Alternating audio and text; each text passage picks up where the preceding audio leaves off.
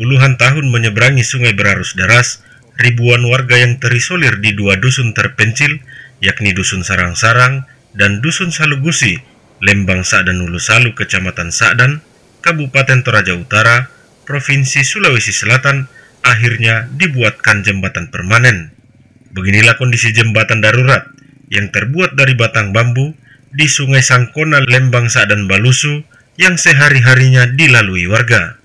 Walau terlihat ekstrim dan membahayakan, warga dari dua dusun terpencil di Toraja Utara ini terpaksa menantang maut agar bisa menjual hasil pertanian ke ibu kota kabupaten.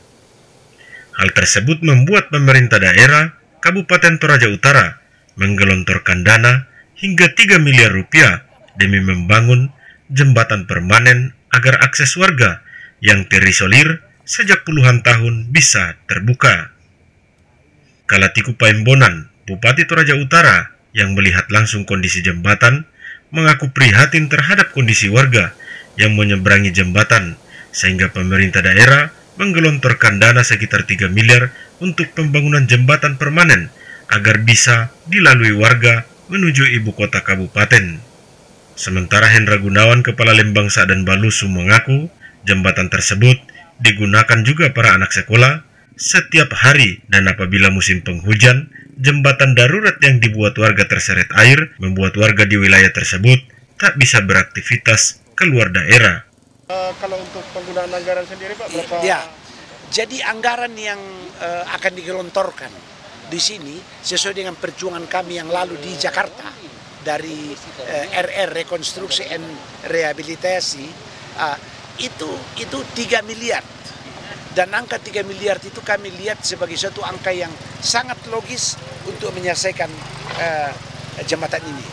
Teryakinkan kita bahwa dengan 3M itu uh, rakyat di bagian utara uh, Toraja Utara ini di Kecamatan Sa'dan ini uh, dan di Lembang Ulu Salu ini itu akan dapat menikmati suatu jalan yang uh, sangat uh, memadai, standar dan uh, dapat menggerakkan ekonomi mereka sehingga di situlah mereka nanti akan merasakan betul bagaimana arti kehadiran pemerintah melayani mereka sejak tahun lalu sampai pada tahun ini dan akan mereka uh, melihat itu dengan nyata.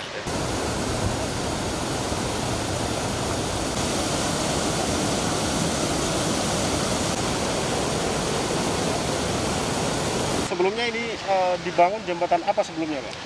Uh, di sini dulu uh, pertama-tama kami bangun jembatan bambu seperti ini. Uh-huh. Kemudian uh, lewat perhatian pemerintah uh, dibangun jembatan gantung. Uh-huh. Tapi mungkin kurang lebih empat bulan uh, ada terjadi longsor sehingga jembatan itu terbawa arus uh, mengakibatkan uh, roda perekonomian di sini terganggu. Karena di sini Pak merupakan sumber pendapatan uh, dari bidang pertanian. Terutama kopi Pak. Ya. Dan juga uh, jembatan ini uh, menghubungkan antar kabupaten nantinya. Ya. Di dusun ini juga dua dusun yang dihubungkan dengan jembatan ini ada empat sekolah. Ya, ya ada empat sekolah. Uh, biasanya kalau hujan keras musim penghujan eh, kami sangat prihatin dengan anak-anak kami yang eh, ke sekolah eh, sehingga ya kami sangat berterima kasih kepada Bapak Bupati yang telah memperhatikan kampung kami di sini sehingga puji Tuhan tahun ini dibangun jembatan permanen.